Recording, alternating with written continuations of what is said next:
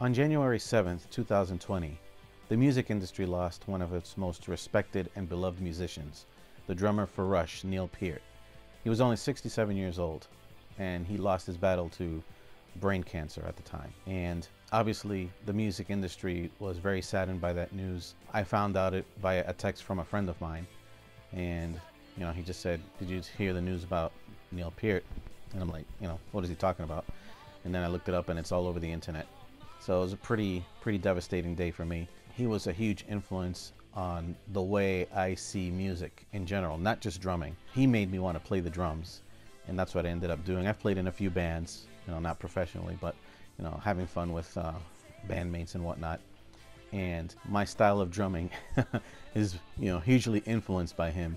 And there are many songs that I've played from different bands, and a lot of the techniques that Neil Peart used in his songs I've put them in these songs, even though they're bands that have nothing to do with Rush, but it just fit in the song so well. It wasn't that the songs even sounded like Rush, but when you play them, you can tell that I was influenced by him. At the time that he died, there was a lot of noise on YouTube. Not bad noise, but a lot of people making videos expressing their condolences and doing tributes, you know, reacting to his drum solos and whatnot. And me personally, I didn't feel comfortable doing that. I just thought well, I'll let things be, and maybe sometime I'll I'll make a video myself about Neil, the drummer and the person. And not that I knew him personally, I never met him, but I felt like many people feel that it's almost like you knew him almost at a personal level because of how prolific he was with his lyrics and how much he expressed himself. I kind of felt that way a little bit. I think I kind of know a little bit of what Neil thought about things. Would I have liked to have met him? Absolutely. But I Can't Pretend a Stranger is a long awaited friend. So this video is coming out a year from his passing. And I thought, you know, after reflecting on it a little bit, I thought I'd just talk about a few of the things that made him my favorite drummer. And I made a little list and I just wanted to quickly mention them. I don't want to spend too much time on it, but I just wanted to show what made him my not only favorite drummer, but my favorite artist. You know, going above even being a drummer, above being, being a musician, but just the artist in general. What things made him my favorite artist. And obviously, most of it is related to his drumming style, but some of it also has to do with the person himself.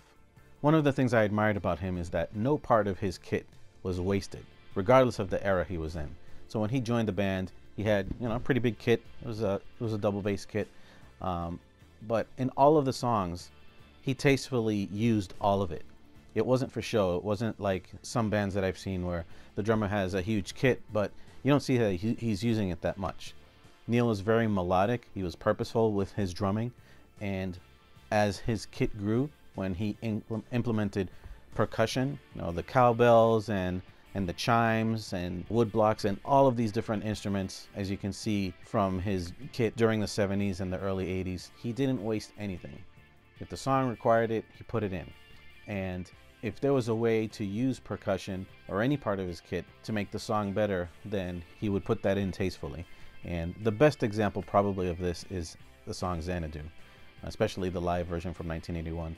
His incredible use of his whole kit. It seemed like he used every part of his kit for that song, and nothing was overdone, but it was expertly played.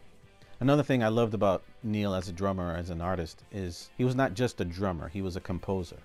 And Many times he talked about how he not only positioned his drums, but how he tuned his drums in a particular way so that they would be very melodic. There's no getting around that drumming is pretty much a rhythm exercise. It's not really about melody. It's about keeping the beat. It's about providing a measure, basically, that the band can play to. But it seems like Neil was, he was outside of that. He really played his drums in a melodic way. So the song needed that melody from the drums for it to sound like Rush. Obviously, you have the melody from the guitar and the bass and the keyboards, but it was so interesting that Neil was able to compose his drum parts so that there was melody to them. And his drumming was very musical. In a world where a lot of emphasis is given to technicality, that was not his thing. His thing was more about composing, about composing drum parts that fit the song and he did that expertly. And he actually, to me, he put to rest the issue of needing to be technical. it's definitely beneficial to be technical and it's very important to have chops. But ultimately, when the end user or the listener is hearing the song, they're not caring about the technique. They're mostly caring about the song itself, the melodies, and how they remember the song. Unless you're a drummer and you're specifically looking for technique, but that's the minority of people. Most people, they hear music because of the melodies. And his drumming was a huge part of that melody of Rush because he was a composer of drums and not just a player of drums. Another thing I admired about Neil, and this was something that Geddy Lee mentioned actually, and that struck home struck home with me, was that he was a monster musician. And it was interesting that Geddy used that expression about Neil. Not just that he was a monster drummer, he was a monster musician. And he was a monster musician because, like I mentioned before, he didn't just play the drums just to play the drums, to put in uh, ch chops or show off uh, how many rudiments he knew, put them in the song, however. He was a musician, and everything was meticulous about how he made his drum parts because he wanted it to sound always musical. And he would slave over drum parts to make sure that they would sound musical and not just sound like he was keeping a beat.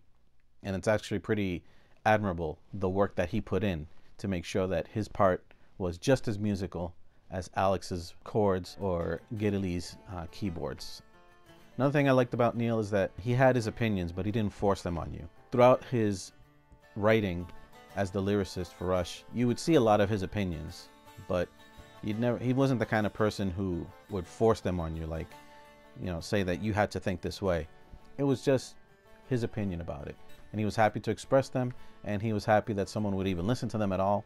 Um, whether you disagreed with him or not, I don't think to him it mattered. What mattered was that he was able to express what he thought and that people appreciated how they how he expressed it.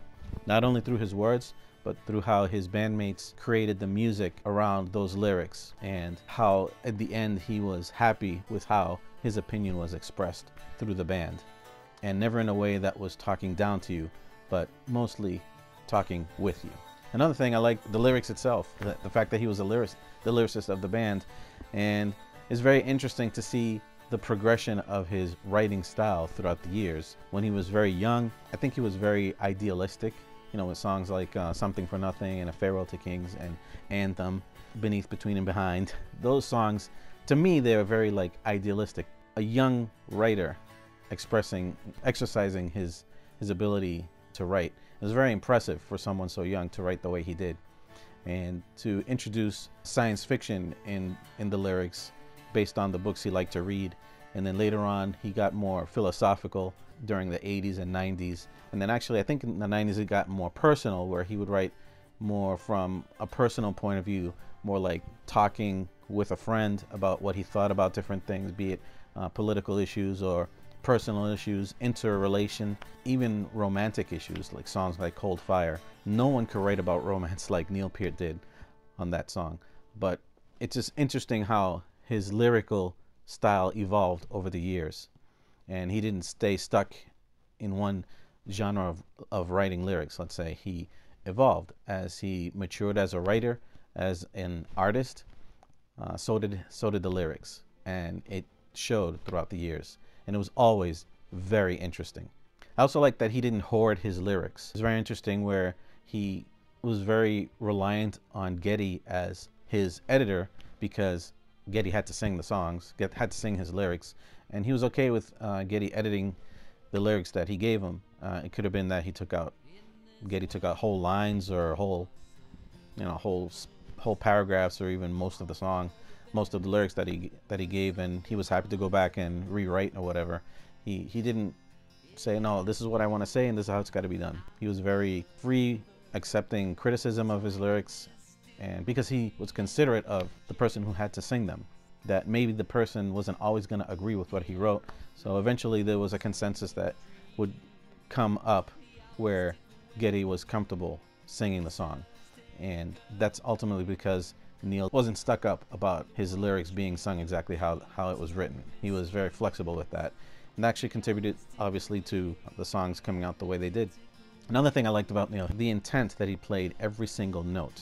you look at his face when he plays. I mean, it looks like he, you know, when he composes his drum parts, he knows why, or he knew why he played every single note the way he did.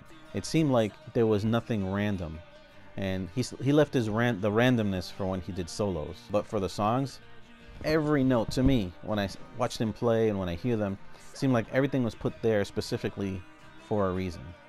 And that intent in playing for a young person growing up listening to Rush, to me that was very impressive.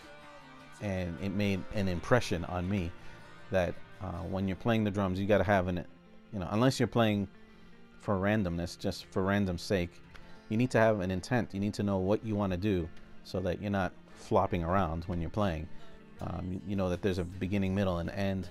There's, you know, there are verses and choruses and bridges and all that stuff, and you need to know where you are. Uh, you need to play with intent. And I never saw a more intent, more intense player uh, than he was, and the absolute energy that it took to play like he did. And he did it night after night, uh, tour after tour, and it was amazing to me to see how, in the end, even in the R40 tour, when he was in his 60s, that he could still play with that energy, with that intensity. That's something that uh, I admired about him. Another thing I noticed about him that I thought was pretty peculiar is that he never played the same thing twice in a song. Um, if you look at songs like Distant Early Warning, Far Cry, there's a bunch of others where you know the chorus would come around, and every time the chorus comes around, the transitions, um, you know, in between the lines that the singer is singing, the feel is different every time. It's different, and the way you know to come up with all of those different variations of fills that you'd have to play over and over in a song, and remember them all. And then when you're playing them live, you're also playing those fills differently every single time you come around to that same part of the song. I thought it was pretty crazy. Um, it's so easy to just play the same thing when the chorus comes back because the words are the same, the music is typically the same, but Neil could not do it. And from an interview that I saw with Geddy Lee, uh, he also mentioned that they had a hard time convincing Neil to play the same pattern again when that motif of the song reoccurred, unless there was a really good reason that it served the song. Otherwise, Neil would just come up with something different. And actually made it more interesting to watch him play and to listen because it, it, it wouldn't be boring because you, you would know hearing the song for the first time you don't know what to expect. And then when you hear it subsequent times you see the genius of how he would create these drum fills every time those uh, same parts of the song came along. And it actually you know it moved the conversation along basically in the song because of the way he varied those fills throughout the song it just made things a lot more interesting and it informed the way I play as well. Even when I'm covering other songs from other bands, I do that too. and um, the musicians I play with, they notice that the songs sound more, no, they sound more interesting because the, the drumming is a little busier and it just fills in the space more because you're putting in variety in those fills. And that's something I learned from Neil. I think the last thing I'm going to say about Neil as far as one of the reasons I, I admired him so much and that he's actually my favorite all-time drummer, musician, artist. I think the main thing is that he was a humble guy. He was very reserved instead of being extroverted. He was a very funny guy. He always wanted to be treated just like everybody else. He never wanted to be famous. He just wanted to be recognized as someone who plays the drums. And for someone who had that kind of stature in the music industry, having not asked for it, just based merely on his talent and his humility, that goes a long way as far as making an impression on anybody who wants to become a musician or just wants to play for fun. That is the best attitude to have when you're playing with other people. If you are humble, you are wanting to make the whole experience better. In the case of Rush, he wanted to make the song better and he would do whatever it took to make the song better. And to do that, it requires humility because it requires that you have to hold back when the song doesn't require more from you. And also, it requires you to step up when the song requires more of you. And your, your humility allows you to do all that. And throughout all of the years of Rush creating music, I think his humility was one of the things that most made him the drummer the musician, the artist that he was. And that's something that's sorely missed in a lot of music today. No, but we have the music. We have 20 studio albums. We have all of the live albums. We have all the live videos. I'm hoping to see more music to be unearthed somewhere in the ar deep archives of Rush, videos of tours past that maybe we haven't seen. And we'll continue to, to see why Neil Peart is considered one of the greatest, if not the greatest, rock drummer of all time. He certainly is in my book. Yeah, I miss the guy. I never met him, but to me, from a musical perspective, he was my mentor. He was my teacher, and I miss him.